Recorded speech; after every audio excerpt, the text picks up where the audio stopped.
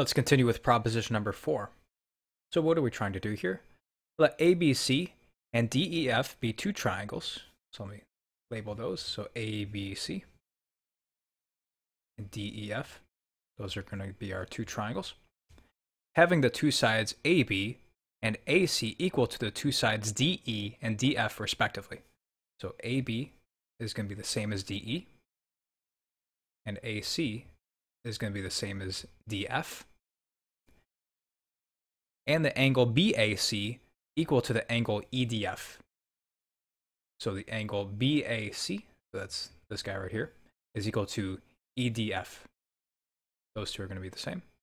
Now the claim is that I say that the base BC, this base BC, is also equal to the base EF, and the triangle ABC will be equal to the triangle DEF, and the remaining angles, namely this one over here, with respect to this one, and C over to F, that these angles will be equal to the remaining angles respectively, namely those which the equal sides subtend. Let's also note that there are three claims here. The first one is that the base BC will be equal to EF. That's the first claim. The second claim is that the triangle ABC is going to be equal to the triangle DEF.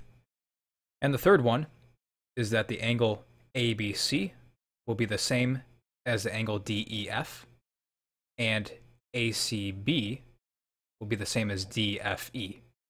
Those are the three claims. Now, how does Euclid intend to prove this? He says, for if the triangle ABC be applied to the triangle DEF, so think of this as a sort of superposition, that we're going to take this and relocate it onto this triangle. And he says if the point A be placed on the point D, so we're going to place A upon the point D, and the straight line AB upon D, so we're going to take the straight line AB and place it upon DE, then the point B, this point right here, will coincide with the point E, because AB is equal to DE.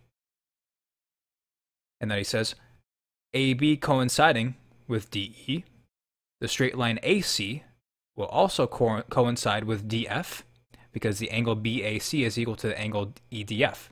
So when we apply this triangle to the other one, AC is already given to be the same as DF.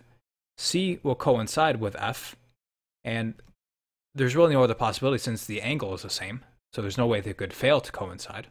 And then what's our inference going to be?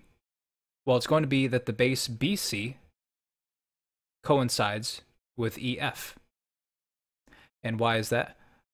For if when B coincides with with E and C with F, so when B coincides with E and C coincides with F, if the base BC does not coincide with the base EF, then two straight lines will enclose a space. So they're going to enclose a space, which if you think about it, that doesn't make any sense if you have a straight line like so.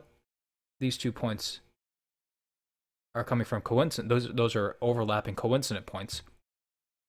That would have to enclose a space if BC doesn't coincide with EF, and that's impossible.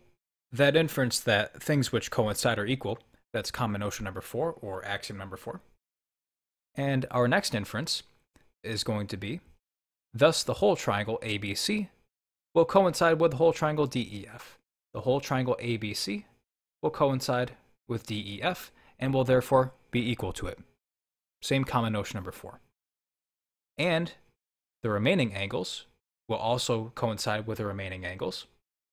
That is to say, angle ABC will coincide with DEF upon this superposition. And likewise, the angle ACB will coincide with DFE, and therefore those will be the same. So we have the equality of these two angles, and also of these angles. And those are the three claims that we set out to prove. And you'll probably have noted that in high school geometry, this theorem is often called the side angle side theorem.